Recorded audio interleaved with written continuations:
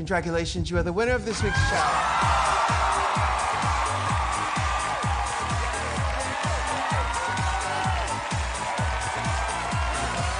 Dr. Seven, condragulations, you are also the winner of this week's challenge.